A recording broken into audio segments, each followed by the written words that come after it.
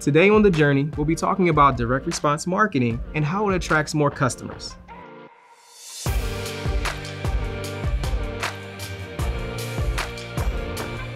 So I've heard of direct marketing, but how is direct response marketing different than that?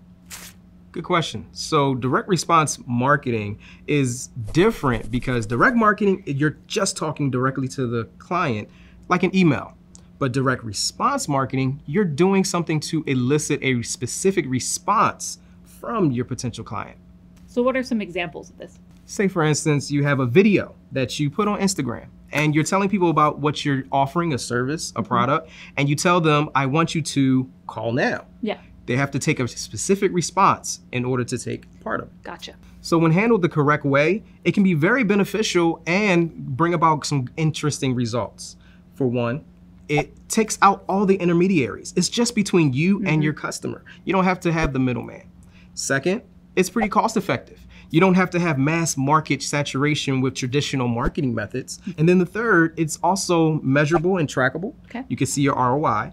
And then also, it adheres to some good old school marketing methods and it mm-hmm. doesn't go with some of these trends that are flighty. Gotcha. So, would an example be I do an Instagram post specifically for, let's say, a new backpack that I just came out with, and then I have a link and they go and they buy that? Exactly. So, in crafting your direct response marketing, there's a couple elements that you want to have. For instance, the proposal. Rather than thinking, hey, buy my product, you actually want to go into some details, especially like trial period, what the person is going to sign up for, mm-hmm. answering a lot of the questions that a person may have. Gotcha.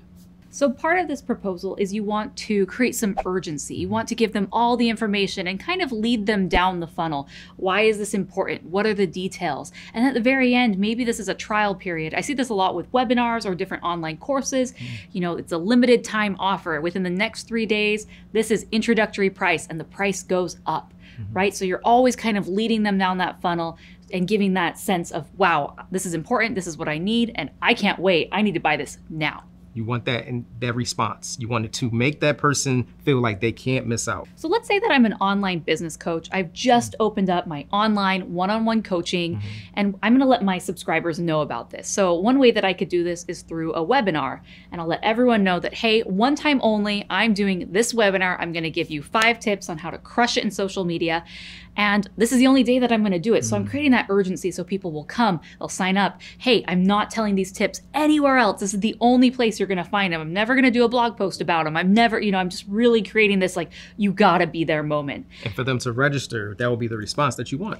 Then in the webinar at the end, I'm going to let them know, hey, I've opened up my online coaching. I only have 10 spots. Mm. And you guys here watching this webinar are the first people. You're going to get the first chance. So if you want to, here's my special introductory price. And after that, once I hit those 10 spots, done. So if my goal was to get 10 new clients, this would be a great way to create that funnel, create that sense of urgency, and hopefully be an effective way to get those new clients. So today we talked about direct response marketing and how it can bring you more customers. We would love to hear from you in the comments below. What other topics would you like us to talk about? And of course, be sure to like, subscribe to our channel, and hit that notification bell so you're always notified of our next new video. And until next time, this is The Journey.